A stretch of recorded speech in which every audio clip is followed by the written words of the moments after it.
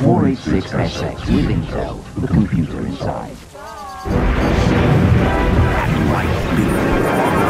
Intel, the computer inside.